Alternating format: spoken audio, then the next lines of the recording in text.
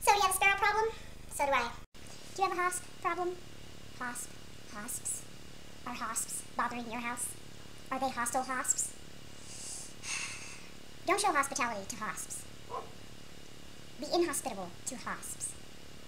Hosps are not your friends, especially the males.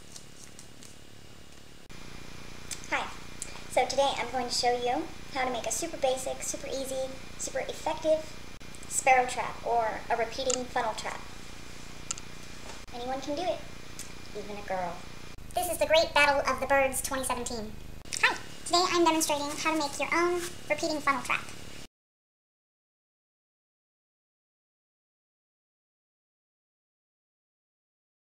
First thing you need is a roll of this hardware mesh, or also known as hardware cloth. This is half inch openings, two foot wide by 10 foot long roll. The first trap I built was with a two foot wide by five foot long roll. So uh, at minimum you will need at least two foot by five feet with half inch openings. So. Next thing you're going to need is some wire snips or dice. You'll also need some kind of a marker and a ruler or a measuring tape, which I have over there. You know what that looks like, right? So, also wear gloves because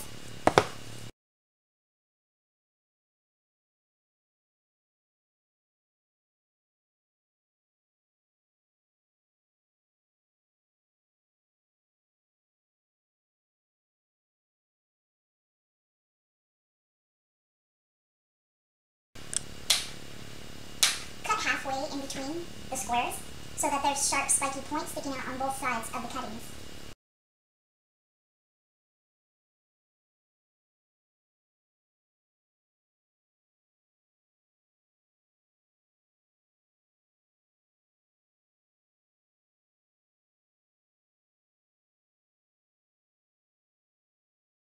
Okay, the first thing is roll out the wire. You can do this on the ground. I did it on the concrete the first time. Roll out the wire until you get, anchor it down if you need to, until you get a piece that is 40 inches long. Leave the width at 2 feet.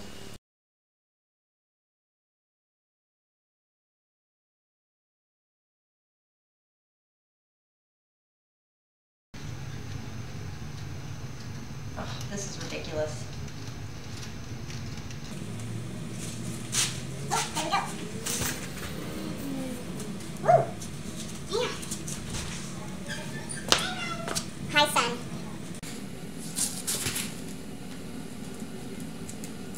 Lightly, not too, not too hard, because too much and it will snap. You don't want to compromise the steel.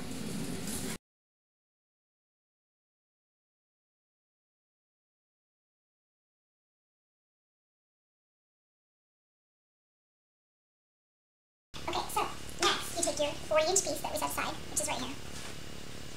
40 inches by 2 feet.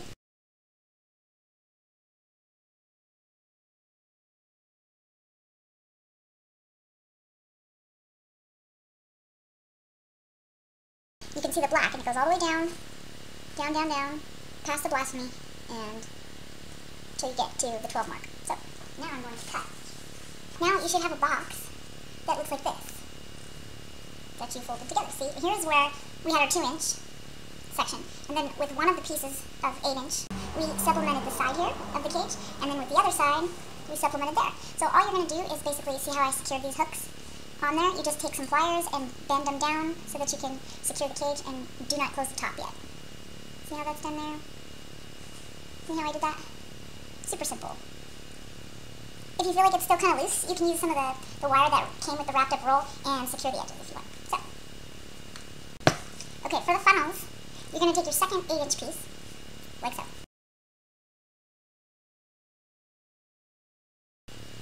Approximately. House sparrows, also known as hosps, capital H-O-S-P, that was introduced in the early 1900s. And we've had a hell of a time getting rid of them since then. So great job.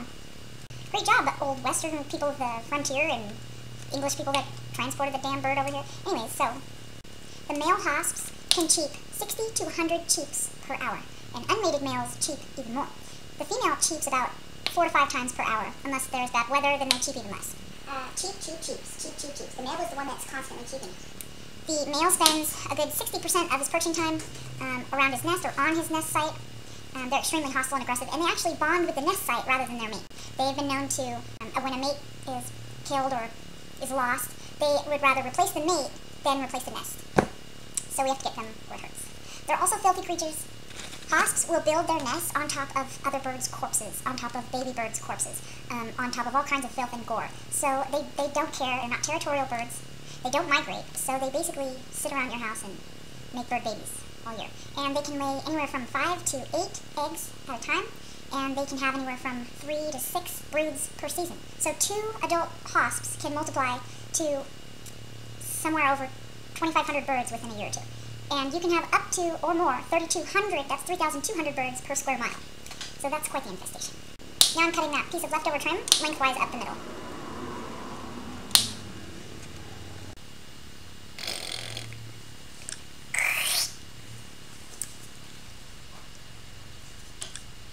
For nothing.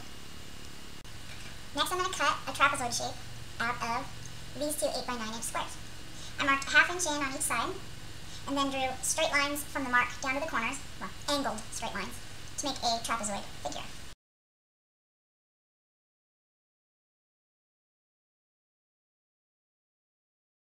Okay, so now you should have a shape that looks something like this. The measurements are 6 inches, it's 8 inches high, and it's 9 inches across the bottom, closely. Here's your other shape. Okay, the next thing you want to do is, you want to gently fold your tunnels. Not too hard, not too much pressure, or it will bend too far. And then it's not that easy to fix, because once you compromise that wire strength, then back and forth a few times will make it break. So, the idea is to make a tunnel shape, like an inverted U. See? Oh, no, actually, this way. See? There's the other tunnel. Yeah, that's close enough, right? Okay, so, now, here's your two funnels. But, if you notice, you're going to set them flush with the bottom of the cage and the side of the cage. So this part is going to be on the bottom of the cage. It's going to go in like this. Okay, but the problem is, if you'll notice, this is not totally flush. Well, it's not going to line totally flush once we set it down. See, this the bottom edge here sticks out a little bit further than the top. So all I did was eyeball it. But basically, basically, make another set of marks. The top should be fine, but if you follow your other marks and just trim it in on the bottom corners, it should be enough to make it come flush. It, like I said, it doesn't have to be exact. The difference, this one I just finished straightening. See? And this one has not been straightened. So the bottom corners on this guy stick out further. So we have to trim those back. Okay, now we're going to put the funnels in the box. I call this death in a box. It's my death in a box, yeah. Okay, so these funnels are going to go like this. Okay, you take the large end, that's the entrance, and the small end is the exit into the box. So you want to set it down on the box like that. Kind of measure it out. The large, the larger hole goes to the side of the box, and the smaller hole faces the inside of the box. Okay, now, so now we have funnels in the box. Okay, but the box is not closed yet. Here's the side view of the funnel. Okay, so there's the funnel. Okay, let me show you the. Here's the side view. That's the inside. Here's the funnel. So this part here is the entrance. And this is where we need to exactly cut the same shape as the entrance hole. Same as over here. So next, before you cut the openings, I recommend securing the funnels.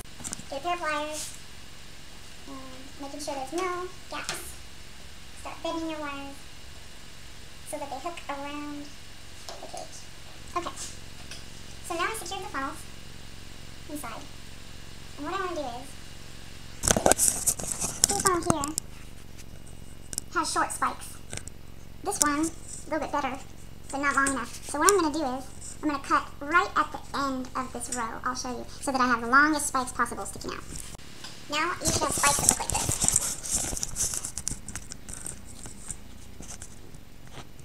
See how the spikes are nice and long?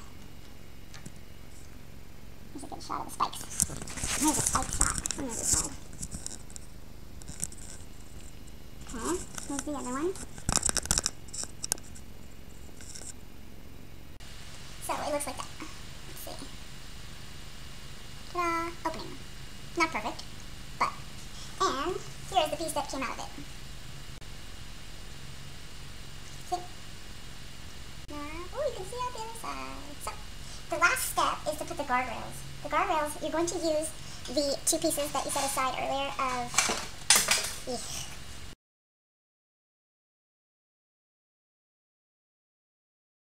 what you're going to do is you're going to trim so that we have sharp spikes. Sharp spikes along both ends, long ends. You want to make same spikes on the short side, so all the way around. Right? So what do you do with this piece? Next for the guardrail, you want to cut the bottom spikes. You want to cut the second, third, and fourth. Skip the fifth. So leave the first, the fifth, the tenth, and the fifteenth. Relatively similar now. The basic idea is when you stick it in the bottom of the cage, it's going to be easier to hook to the bottom if you don't have so many wire hooks on the bottom. Okay, what you want to do then is fold it in a tunnel shape, just like before. This is the guardrail that you're going to place inside and around the end of your tunnel. So, find a good spot and anchor it down. There it is. So, now what you want to do is you want to turn these spikes out.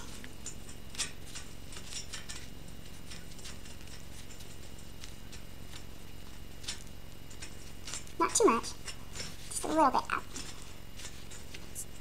Now, next, these spikes, you want to kind of stagger both ways, both directions. Like turn a couple of them out, a couple of them in. This just makes it uncomfortable for the birds to try to sit on or perch, and so they're less likely to figure out how to escape. Essentially, after you finish this next guardrail, you're done. And now you're done. So here's your trap. Your basic trap. Right? I've tried everything for bait. Um, the sparrows usually like cracked corn and millet, but I was not about to spend any money on them. So I've tried saltine crackers. They like Town House crackers. Um, but the bombest thing to bait them with, believe it or not, is Top Ramen. Dried Top Ramen, crunch it up into small little pieces. You put most of the bait at the end where the guardrail is. This is where most of the bait is going to go. And then some of the bait you put here in the funnel, and in this funnel you put very little bait on the outsides. You kind of stick it into the ground, kind of squash it down into the sand, kind of like it is on this blanket, and then you close the top by basically bending the top and folding a couple of these little spines over. They're not geniuses, these sparrows. They can get out, but they're not strong enough to break anything. And then you bait it, and then you wait. And then, um, depending on how you want to dispatch them, uh, we just shoot them right through the trap. So um, we just use a, a, BB gun or a CO2 pistol or whatever you got. Be careful not to hit the sides of the trap because you can bend and break the metal. And that is how you make your repeating funnel trap. Sparrows cheap in, but they don't cheap out. But I'm cheaping out. Cheap, cheap. May all your hosps be dead. There's no good hosp, but a dead hosp. It's your choice what to do with them, but the trap will work. Yep, okay, these hosps are about to be executed. Caught these in my trap earlier today. And the funnels, let's see, I'll zoom in for you. The funnels inside, see how that works? Those hosps, POWs, are soon to be KIA. Just a basic trap for you right there. Two females. Likely juveniles. So, we're going to put these prisoners on death row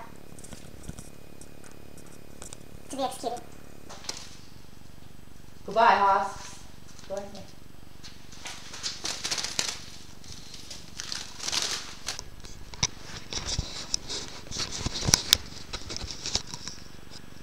Those prisoners are to be executed.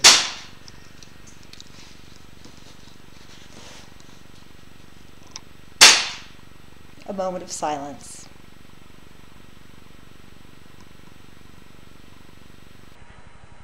Did you get the hosps?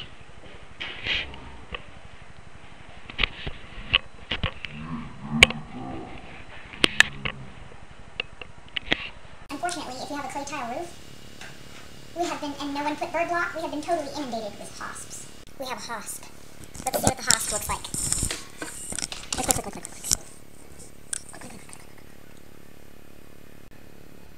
Nail Hassan.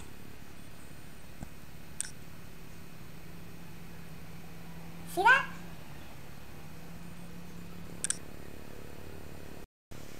I freaking hate this bird so freaking much.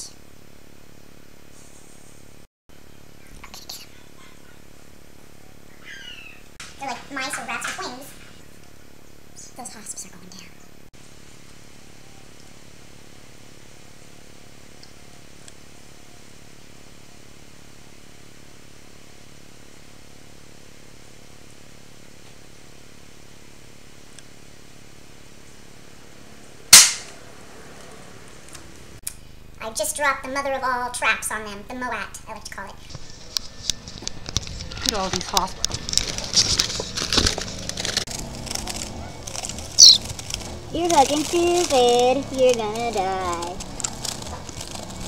God, I hate these fucking birds. There's some males in there. Two males.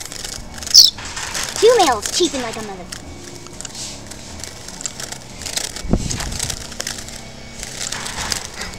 Goodbye. These are extremely effective traps, and I think they're pretty easy to make. Um, this trap, using this trap, I caught birds, I caught sparrows on the first day. Just to give you an idea of the problem that we're experiencing, we walked around the outside perimeter and I counted just on the eaves, not including the top, the gable, the upper portion of the house, uh, I counted at least 10 or 11 active nest sites. So I don't have a problem personally with birds, even sparrows, unless they try to come into my house and take over. Then, then we have a problem. Good thing they don't make human traps, or do they? And now we just caught some more hosps. Let me show you. Look at all of these hosps. A male. We got a male. That dark one in the middle here. Let's see.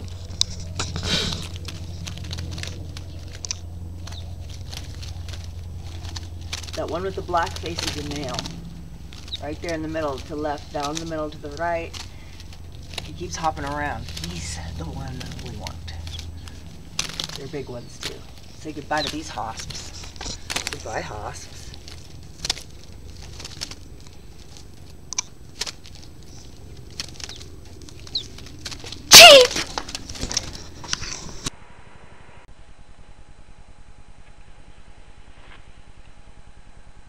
Any sparrows in there? Better not be any sparrows. Missed that motherfucker. Go kill you some hosps.